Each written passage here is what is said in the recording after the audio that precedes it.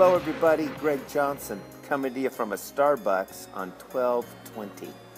Man, I wasn't even planning to come in here, and then I realized it was literally 1220, and so I took one of their venti cups with their 12 tall cup and decided to have fun with that.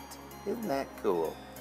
Well, today we're all looking at Romans chapter 12, man, and I've been having a blast putting it in my Give God 12 journal and then checking it out here in Scripture. And the verse that I really thought we could focus on today is that one that is so familiar. It's a famous one. It says, Do not be conformed to this world, but be transformed by the renewing of your mind, that you may prove what is that good and acceptable and perfect will of God. Well, that's very cool. And so I came over here and I wrote it out again just to start this thing off. That confession that I'm so pumped about during these 12 days. And that's Psalm 118 24. This is the very day God acted. We will rejoice and be glad in it. Two kinds of days the day that's just a 24 hour period, and then the day that God did something that He didn't do the day before, and He's not going to do the day after. We need to be open to those days when God shows Himself strong.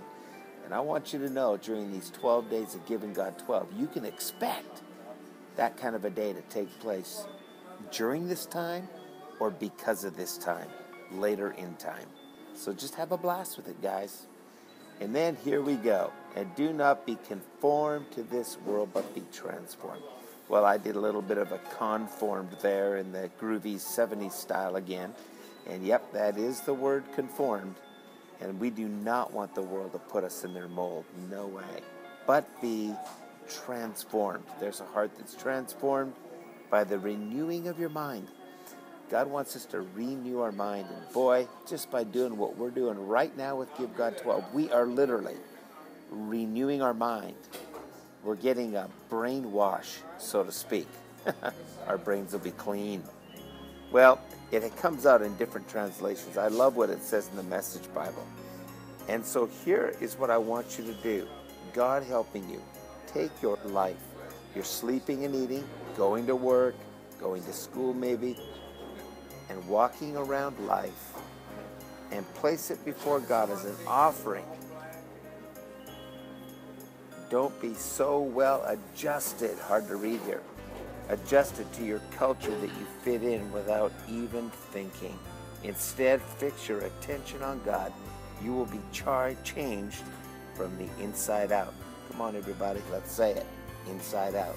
That's how God does stuff, He does it from the inside out. So, again, on 12 20, I gave God 12 and a little bit more because it's so much fun to give God the time of our lives. Because when we give Him the time of our lives, Everybody finish it. He gives us the time of our life.